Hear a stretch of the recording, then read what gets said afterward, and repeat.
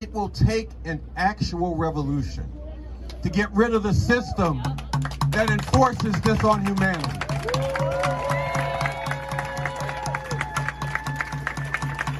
And when people say, well, Carl, why do you even think a revolution is possible? I say, did you see all these people in the streets? Did you see people saying they don't want to see any more white supremacy? Did you see these people saying they wanted an end to attacks on women, to attacks on LGBTQ people, to devastation of the environment, to demonization and criminalization of immigrants? This is the potential to make a revolution. You all are a part of that potential.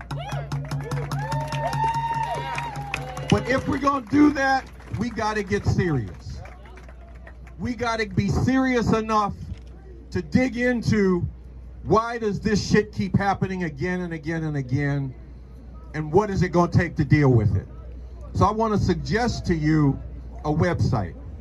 That website is revcom.us. It's the site where you can find the work of Bob Avakian, the leader of this movement for an actual revolution. Check out a speech that he gave. Why we need an actual revolution and how we can really make revolution. He gets into the, the strategy for it. Because people say, well, how are you going to come up with it? How are you going to do this? How are you going to do that? He speaks to all that. If you're serious about this, you got to check that out. So he can stop the Illuminati and the Masons too? We gon' we gonna deal with the system out of which they sprang, and we're gonna take care of it. We can take care of it, brother. It is not a guarantee. We got to be serious. We got to get organized.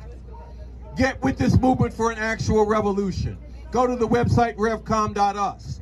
Now, as revolutionaries, we know that it ain't a Democrat or a Republican thing. It's a capitalist imperialist thing. Okay. But we also know that a fascist regime wielding the reins of power in society can make it much, much, much harder to make